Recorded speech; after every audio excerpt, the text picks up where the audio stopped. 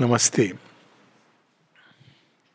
So today we read this wonderful poem, Invitation. See, there are two poems which Aurobindo wrote during the Alipur jail period. One is Invitation and the other is Who. And it's very interesting. If you read Invitation, he is rising above all the you know situations circumstances where you know he could be incarcerated he could even face death sentence. This is one approach where when we are faced with difficult situation how to rise above them? At one place Sri Aurobindo says that the difference between the ordinary and the extraordinary is this. Everybody meets with crisis. 99% people break down. But 1% rise above it and he gives the example story of two birds who are you know they are trying to teach their child to fly and the child drops in the sea.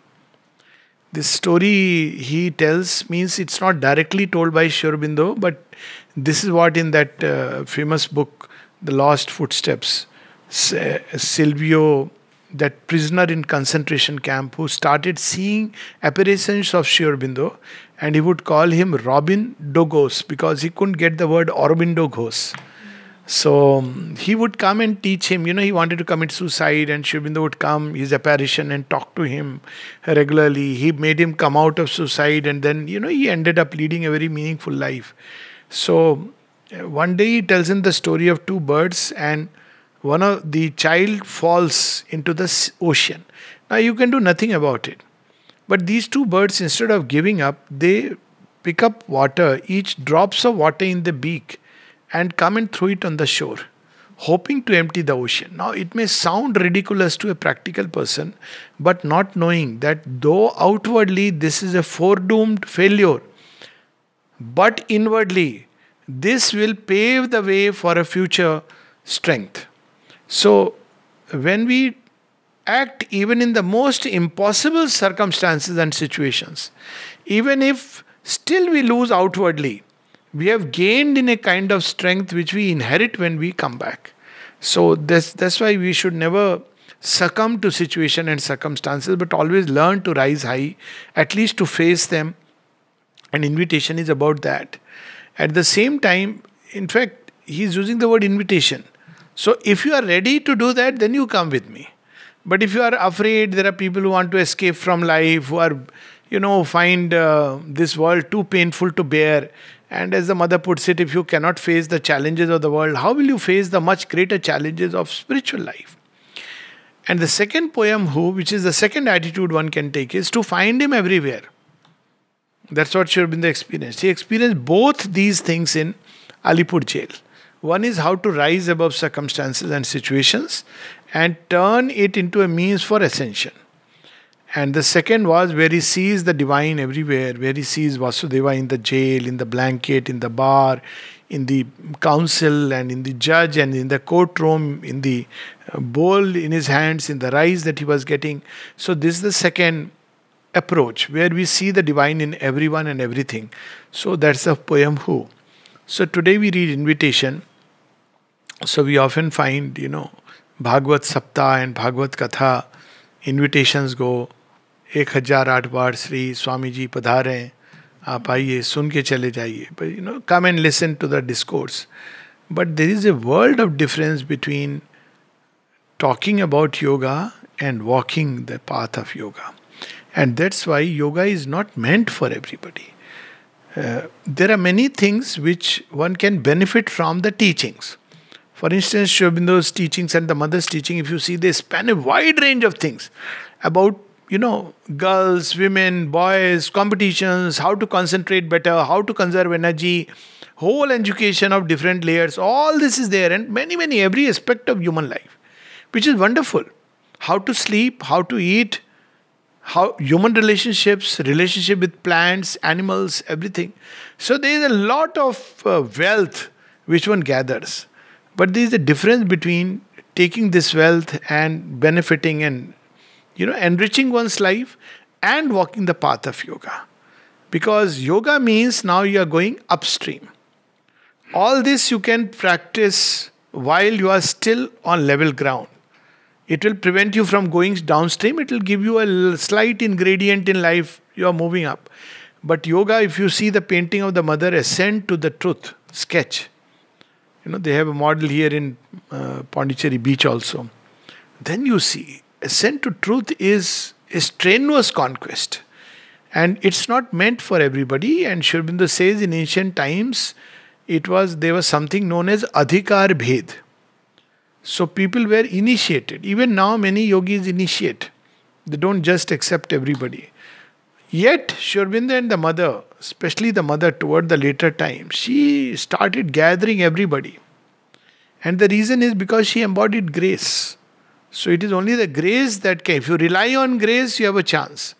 But if we look at yoga in terms of uh, simply practice, not the practice as it is taught today, half an hour or two hours meditation, sit and lead your life the way you are.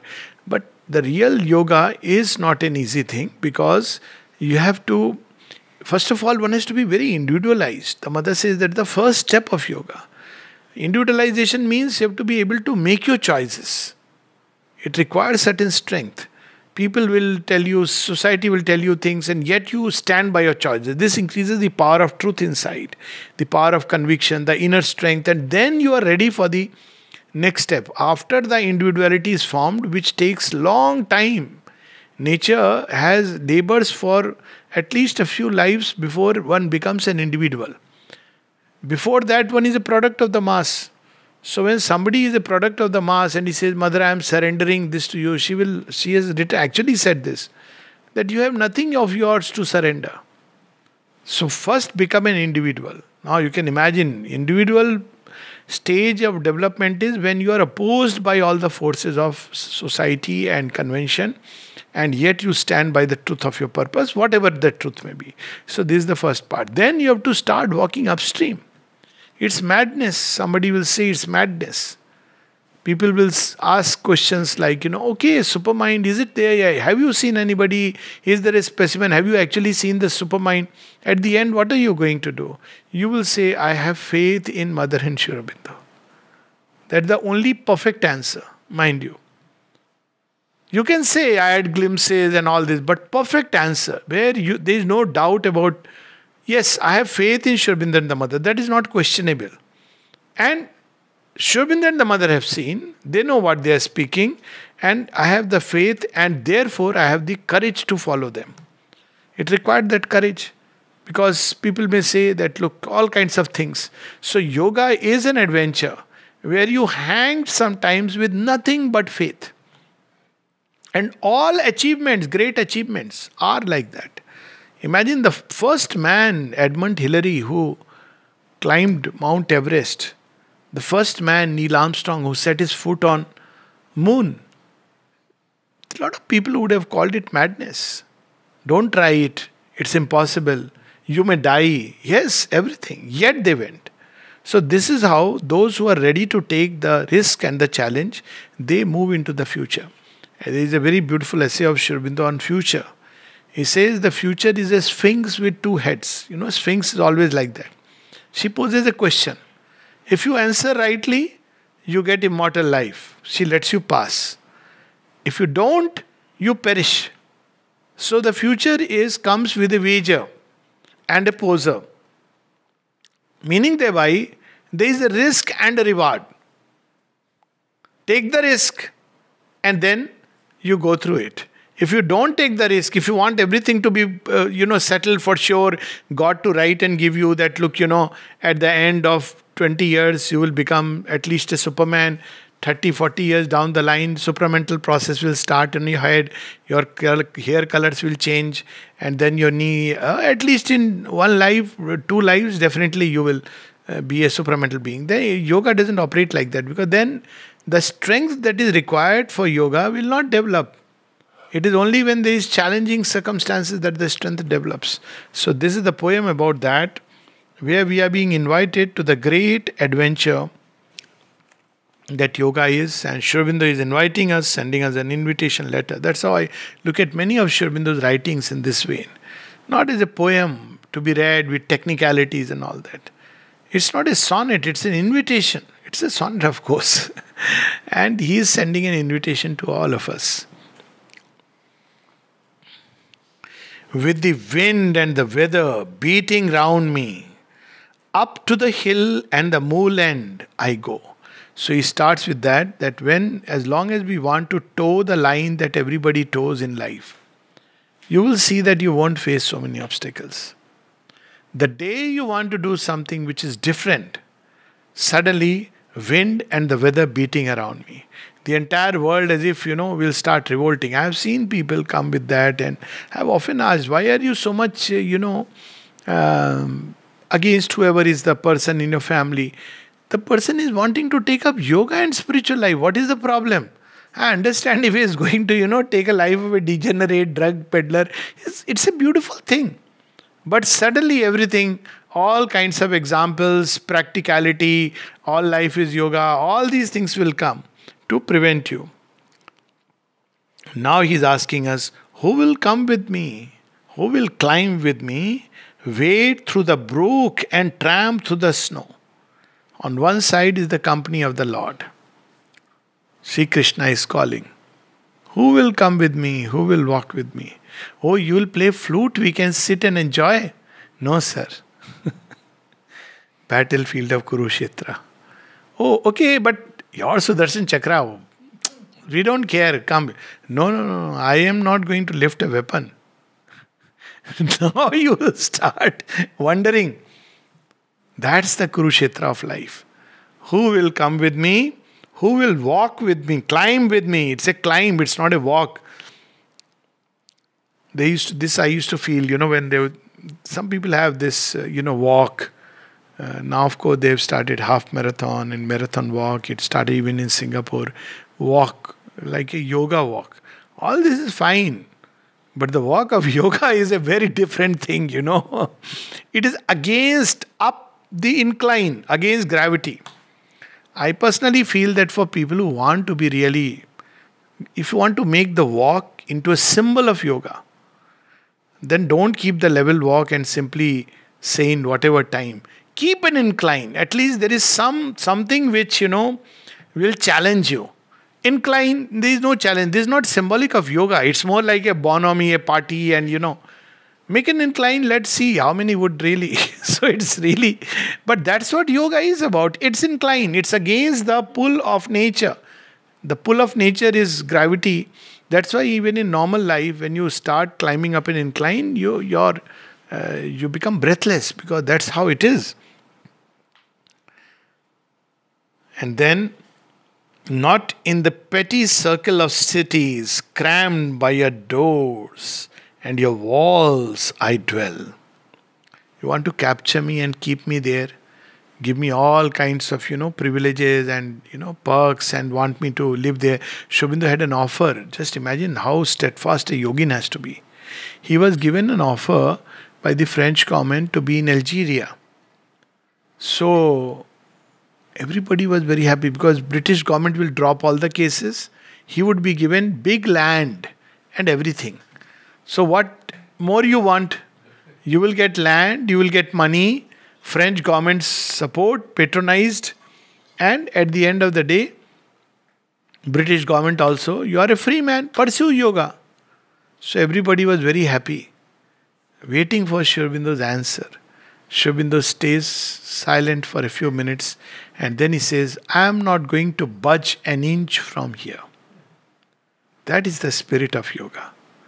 Such are the ones, I mean, he has given by his own example what is the stuff of which yogis are made of? Real stuff.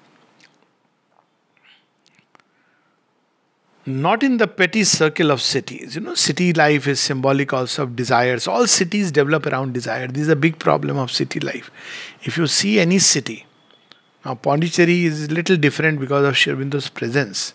But generally, you go to Delhi, you go to Hastinapur, you go to Kolkata, anywhere. Cities start developing around desire. That's why people from the villages go to city for money. And they will have some cultural hubs. But basically, the center is desire. Bombay, the city that never sleeps, New York, Paris, London, anywhere you go, it develops around that. So he's saying that is not my life, which is surrounded by such things. Crammed by your doors and your walls I dwell. I have abandoned all comfort zone. Doors and walls is man seeks comfort zones. Physical, psychological. He says, let them be blown away. I don't care. Over me, God is blowing the welkin. So, who is the one who is protecting me? Who is my roof? God is my roof. He is my shelter. Against me, the wind and the storm rebel. So, wind and storm, they are all indicative of the vital forces. So all the vital forces, they rebel against me, within and without. They are two terms of the same thing. You see, against Sri Aurobindo, outwardly also so many challenges and difficulties, even when he came here. They tried to put him into jail under all kinds of false charges, sedition and conspiracy. Papers were planted inside the well. All this is a piece of history. And of course, within what he must have faced, what he must have gone through, about which we don't know much. But he has said that yes, I have had to face all the difficulties that human nature faces. So when you go, who will be your companion? So you want to take a journey to Pondicherry. Who will come? Who will come? And then people say that, you know, I must get a call from Pondicherry. Mother will call me, meaning thereby a ticket she will send along with a telegram with a request, please come. Without you, we can't live. it doesn't work like that. so, very often people are, eh, when others are coming, we'll go together. It doesn't work like that. So here he says, I sport with solitude here in my regions. One of the cardinal qualities required for readiness for spiritual life. Mother speaks about it, Sri Aurobindo speaks about it, and the Gita speaks about it. You can spot the man marked for spiritual life from this one quality. He is not afraid of solitude. He is happy in solitude. He likes solitude. And even in the crowd, he is in solitude. All these capacities. So, this is the quality of a person marked out for spiritual life. But somebody who is always seeking, you know, party goer, party lover, my friends, I must go with them, then one is not really ready for the spiritual life. This marked both by Mother speaks about it and of course the Gita speaks about it. So, who will walk with us? I sport with solitude here in my regions. Of misadventure have made me a friend. So, several times, yoga is not a straight climb, you know. You will fall, you will hurt yourself, sometimes avalanches, sometimes snowstorms, sometimes snow blindness. Sometimes it's smooth also. It's not that all the time it's like that. Sometimes temperatures will go to minus zero, several degrees. You say it's okay. There is a joy in it. This I literally can connect with it even as a you know experience of this solitude and misadventure. Three months of um, staying in base camp of Siachen. Uh, so there hardly your temperatures will fall to minus 10 easily so what do you do This not so much of this thing so you so i remember reading the whole synthesis sitting inside my room daytime go out take a walk and come back and evenings again alone by the side of Shyok River. One of the most beautiful moments. I just can't, you know, I wish to capture those days precisely because of the solitude and the time you get. So once you are inside the room, whatever time, so I would just sit, read the synthesis, then sleep at your own time, then wake up. It's something so amazing. So that gives you a great joy. Misadventure have made me a friend. This too we faced in a helicopter. The fuel was about to get over, and we were surrounding by, surrounded by the clouds and didn't know how to come out. Not me, but the pilot. I was in the helicopter. So, so misadventure. It's life is full of all kinds of things. If we start, okay, give us an assurance, a security, security. No, take the joy of the unexpected. Actually, there are people who get so worried about the unexpected. Enjoy the unexpected because God also is met unexpectedly in the most unexpected ways. So, if you're afraid of unexpected, then so take it, it's part of life. Anyways, the only thing you can expect in life is unexpectedness. there is nothing which is. Uh, only thing certain about life is the uncertainty that all the time walks by your side. This is, you know, actual, real life and real. Who would live largely? Who would live freely? Here to the wind swept uplands ascend. Are you ready to live largely? Why largely? Get rid of these little cramped up comfort zones, small desires in whose uh, cage we are living. Like the parrot who is very happy to say all the mantras that you teach him because he'll be given free one chili and some chana. That's not life. But who would live largely? You want to be a parrot or you want to be a swan, Hansa. And he goes right up to the uplands, Mansarovar. Are you willing to live largely and freely? Freely by freely means uh, nothing of the ego desire which all the time tie us to small little petty things. The most miserable life is actually life of desires because you are never happy. You have it and the next one is right behind. It's like a queue what is that uh, where you know people in queue keep slotting around so you think this is the desire i want so the moment you you you have it then the next one comes yes now my turn so you think this is the uh, you know some people think that by satisfying desire you can ultimately get rid of it doesn't work like that so the moment you have satisfied it the third one will come so you'll keep on coming then one day you feel you are getting hooked to desires so what to do now, disengaging becomes difficult, but one has to disengage. At some point, one has to learn to disengage. This is a normal process in everyone. So, who would live freely? Then we are free. Nobody has held us back. Nobody binds us. It's our own desires that bind us and hook us and hold us, our own attachments. Attachments are of, often indicated in dream visions by strings. And uh, if you see a lot of strings around you, it's a sign of attachment. And that's why I really appreciate the man who wrote this song, Moh Moh Ke Dhage. It's actually dhage. You, you know, there are strings of consciousness. If you have the occult vision, you can actually see strings that go and tie. Strings. And of course, this is how the world is organized. Not that it's bad. It's not about bad and good. Attachment is natural at human level. That's what makes us human. It's not becoming indifferent. It's going beyond attachment into love, which is a far more powerful force. So, this is who would live largely, who would live freely. Here to the wind swept uplands ascend. So, who do you find there? What is that Lord whom you find there? I am the Lord of tempest and mountain. Shiva, the mighty, the majestic, is sitting there, ever free. That's why he's sitting there. And where does his journey start? Journey starts from Shamshan. Burn your ego, then start your journey. then you go there. By the time you reach there, now he sits majestic. But for that one smile, Krishna also takes. Krishna's journey is actually far tougher. It looks like, you know, it's uh, easier. Why Krishna is dancing, charming. This is the image we have of Krishna. Playing the flute and you can dance through. No. Krishna will take you first through the dance, hook you to the dance, and then say, Now, Kurukshetra. Now you have to make a choice. Dying, taking the danger of risk of dying on the battlefield of Kurukshetra or burning in the fire, but without dying.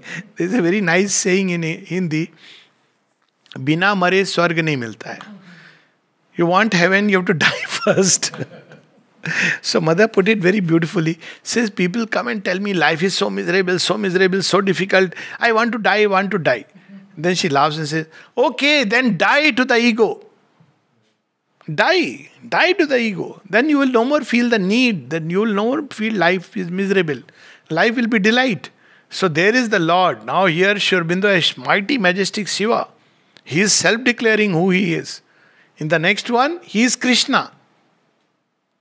he is at work in the heart of the spheres. But here he is majestic, Shiva. I am the Lord of tempest and mountain. You think that the tempest was some play of the world? I am the Lord. Even the tempest is me. The same beneficent Shiva has become Rudra. Why? What does Rudra do? Gives us a good beating. You can't beat him. So, but in the bargain, what does Rudra do? He makes us strong enough to climb the mountain. You can't reach Shiva if you have not faced Rudra. So Rudra is also Shiva, tempest, but Lord of the tempest is Shiva, who is this is Rudra, tempest, and the storm, and there is majestic and mighty Shiva. So first he says that the storm will rebel. You have to face it and climb. This is the law of the way. And forces intangible will oppose. As long as you are leading a normal life, everything will be fine. Even people and events, circumstances which one had never imagined, they will stand on the way because such is the law of evolution. So, if we want that everybody should be fine, happy with whatever you are doing in terms of spiritual life and upscaling ourselves, going up against the gradient, then one will wait forever. And look here again, he describes his Shiva Swarup. I am the spirit of freedom and pride. Again, we see turning a negative into a positive. Spirit of freedom. What is that freedom which we seek? We seek Swachandata. I'll do whatever I feel like. That's not freedom. That is a mistranslation of freedom. What is true freedom? Spirit of freedom is Swatantrata. I am the master. Yes, I will do what I feel like, but not feel like, but what I decide, that I will do. So you see the little difference. Driven by desire is what we understand by freedom. Driven by the divine will is true freedom. So I am the spirit of freedom. Seeking after freedom is the legitimate birthright of man. And it's natural. But in the here it is distorted into doing whatever I feel like. That is the asuric freedom. That like many things have been distorted in this world, one of them is the idea of freedom. So the idea of freedom is whatever I feel like. But if you see in the ancient Indian thought, freedom was meant to be Swami. I am the one who is the master of myself. I choose, I will, and according to the will, I act. So this is called freedom. So I am the spirit of freedom and pride. How can pride be something divine? Pride becomes divine when you refuse to bow down to the lowness of earth nature. You know what do proud people do? I am proud. This is too low. That's how pride is associated with that. So, what is the spirit of pride? I won't stoop to the ways of the world and its mud and the, you know, um, murk and all this. I will not stoop. I refuse to stoop to that. And that is the legitimate pride of the gods. So, this is the spirit of freedom and pride. So, if you see, this pride aspect is very beautifully in a series of flowers. Dahlia. You know, if you see, the names are very interesting.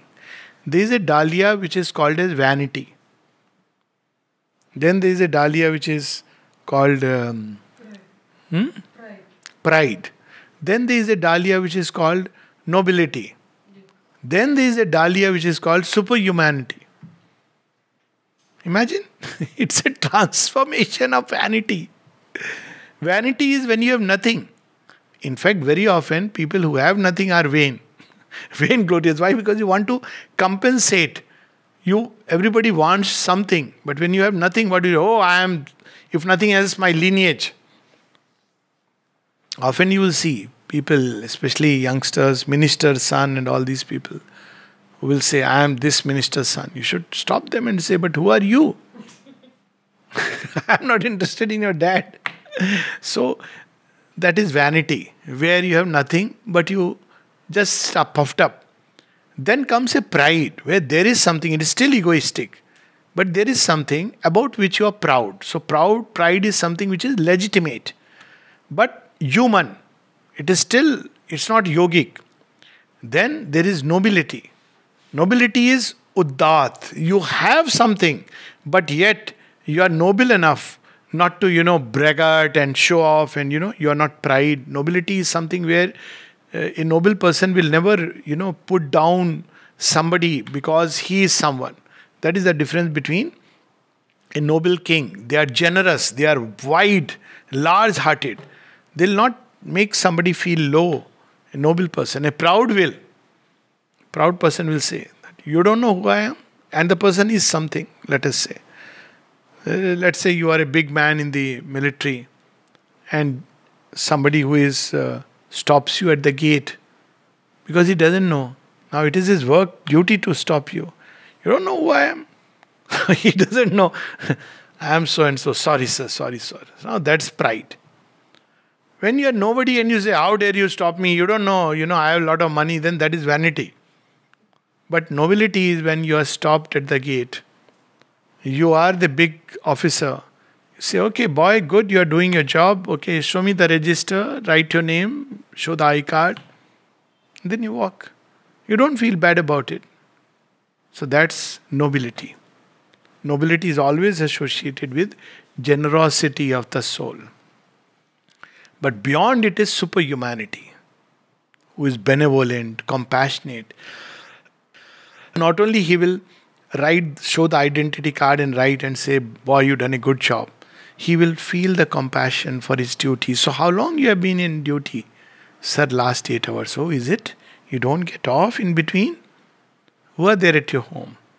And then, if it is within your means, you will help the person. This is called superhumanity. And the classic example is Sri Aurobindo and the um, Baroda Maharaja when they are walking and they see a woman, old lady, who, you know, uh, is let off guard and the, the burden she is carrying on the head falls on the floor.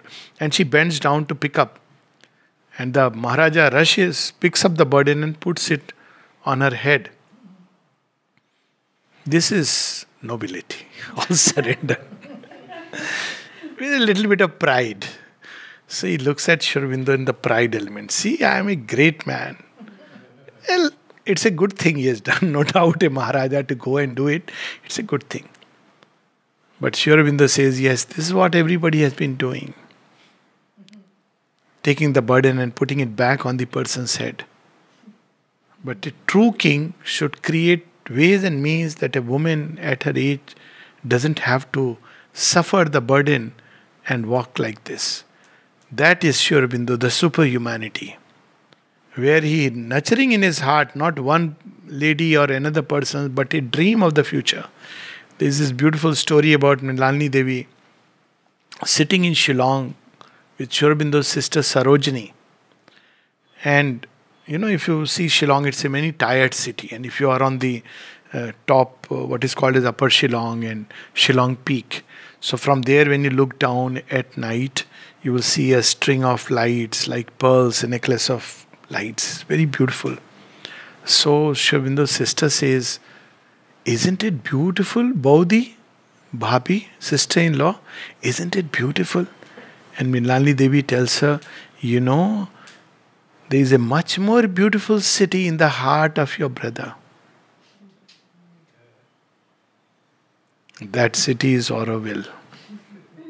Yeah, much more beautiful city in the heart of a brother. She knew what he is carrying inside. That is superhumanity.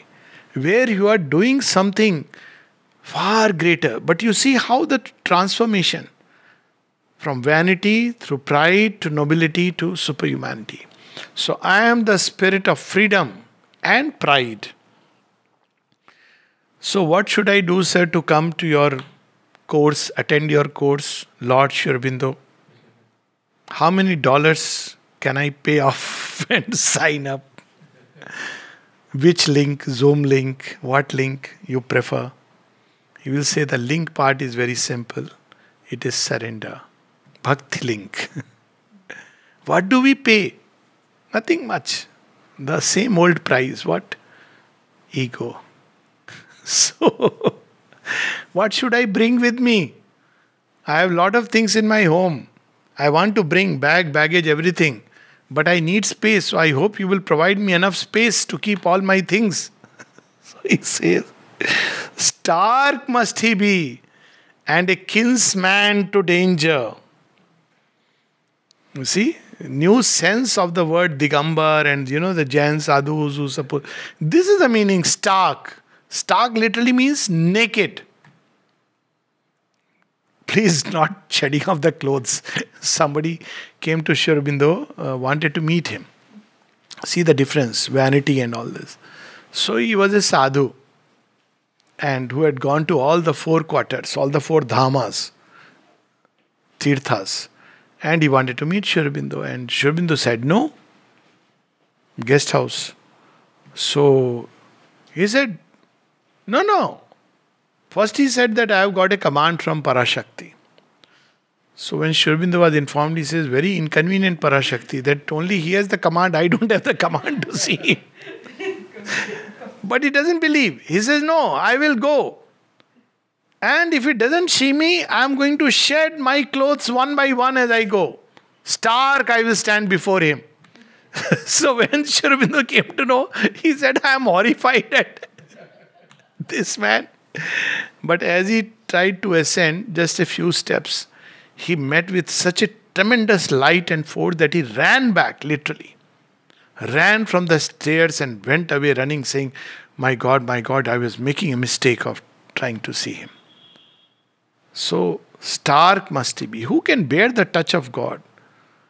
The force that slays and saves. That is how Aurobindo says.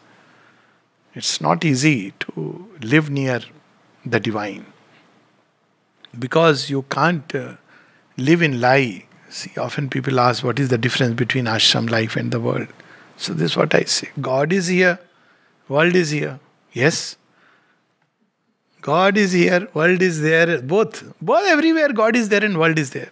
So the difference, when you live in the world, the ways of the world are completely steeped in falsehood. Things are a little better now, but you see what happens. It's a way of life. You breathe it. And you don't find anything amiss about it. Telling a lie is a norm. Here, if you tell a lie, it can't remain hidden. That's the problem. it's a big issue. Why? Because there, the world is trying to stifle the divine child. He is in the cradle, like Krishna in the cradle, and Putana, and all these are trying to stifle. God is there. He will grow up, no doubt. God shall grow up while the wise men talk and sleep. But it's going to be a long struggle. It's not easy to live in the world and yet not be of the world. Ask Vibhishna, he will tell us. You know, when Vibhishna is asked by Hanuman, How are you living in this Lanka? And calling Rama, he says, he describes, Tulsidas describes, like the tongue lives between the 32 teeth. you don't know when it will be bit. Ever experienced the tongue bite? How painful it can be, accidental bite. And yet, it lives. This is like that I'm living. So that is a kind of life in the world. God is there, but living like the tongue surrounded by teeth. Here also God is there, but He is surrounding the world and pressing it, pressing and pressing and pressing to change. So here you experience the pressure of transformation. It's there outside also, but it's slowly, it's like a regulated dose. And here it's a solid Tremendous pressure. Everybody knows and everybody experiences. This is a universal experience. If you start living here, you will see all the defense, once the defense against the eye of the master and the light of the ideal, now become a gap in thy armor and invite a blow. This is what happens. So you can't let things remain buried. It will come out. So, stark must he be, and a kinsman to danger who shares my kingdom and walks at my side. Very easy to say, Lord, I want to be like Arjuna, no? Such a beautiful story. I want to be like Arjuna. Motilal Roy actually wrote to Sri Aurobindo, I want to participate in your mission. Sri Aurobindo says, I do not ask anybody to participate in my mission. Because to participate in my mission means what? And then he describes it means the willingness to take upon yourself all the dangers. Of course, this is before the mother has finally arrived. And he didn't know, look at the irony of the whole thing. He didn't know that the one who can prevent all these dangers will become for him the issue. So he, you know, he asked Sri Aurobindo, I want to marry and he has written a book also, Meri Jivan Sangini. And Sri Aurobindo said, Don't, you know, because all this, no, I want to create a grahastha ashram, world has to change, so world has to be replaced. All these thoughts. Sri Aurobindo says, You are misunderstanding what I have said.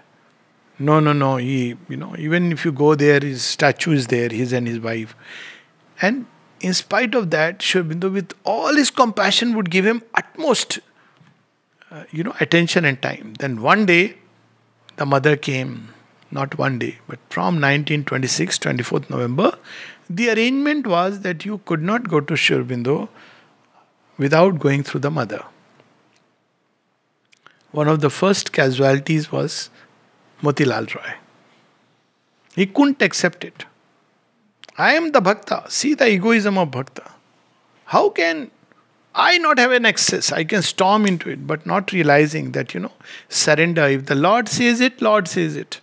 Even if you don't understand anything. That's what I often say. People who speak of Mother and Sri Aurobindo as if they are. So ask them, do you believe in, have faith in Sri Aurobindo? Yes. So yes to told Mother is the path, then what is the problem? Even if you look at it very logically. Of course, best is an inner revelation. But he has said, You have faith in Sri Aurobindo. This is what he has said. It's his arrangement. What is the problem? But this is where, you know, one can. Many, many things come as a hurdle when one takes to the path of yoga. That's what he is reminding us here that yoga is not like French without tears or French made easy.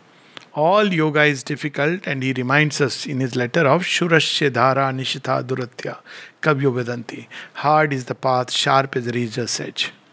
So one has to be vigilant, one has to be careful. It's a journey, it's a long journey, tremendous journey, delightful journey, dangerous journey. If you're not willing to lose all, then you are not a candidate for getting all. And it's true that you will get all, but you can't start the journey with this idea. All aims were lost in her, then found in her. His base was gathered in one pointing spire. He who is not ready to lose everything for the sake of the divine does not find the divine. This is the dictum of the ages. Yes, then the transformation and the world and the change of worldly life, all this will start subsequently. But the first step is the first step. So we read this entire poem now invitation Sri Aurobindo's invitation letter and this is the poem which is printed on it that's it with wind and the weather beating round me people often ask when you are coming to ashram what kind of arrangement accommodation you will get what kind of you know is the attached bathroom or not all these how many days before you start getting dining room food straight away say this application is rejected it doesn't work like that you have to take the leap and discover. Yes, things will work out. Maybe much better than you could even imagine. But doesn't start like it's a non-starter. The journey to the divine doesn't start. You're drawn by love. Or at least by the enthusiasm, the joy of belonging to the Lord. The joy of that, that, you know, this is it. The fact by the by this aspiration that takes hold and says nothing else i want in my life but this. It's difficult doesn't matter. It's very difficult doesn't matter. Extremely difficult doesn't matter.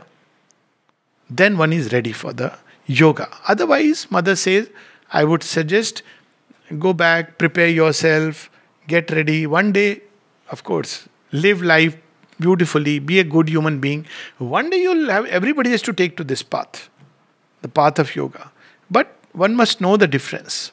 So here he is revealing to us with wind and the weather beating round me, up to the hill and the moorland I go. Who will come with me? Who will climb with me? Wade through the brook and tramp through the snow.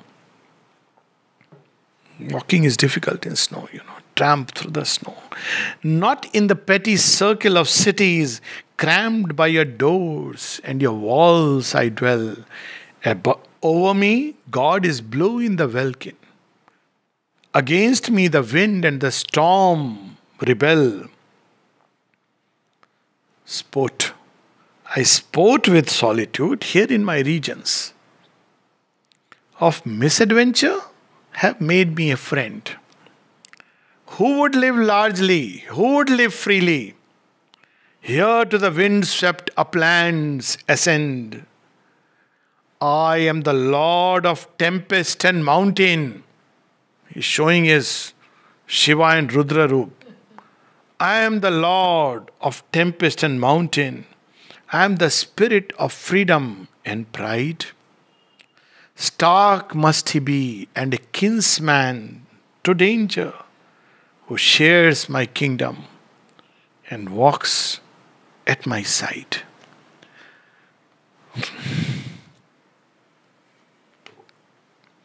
Namaste.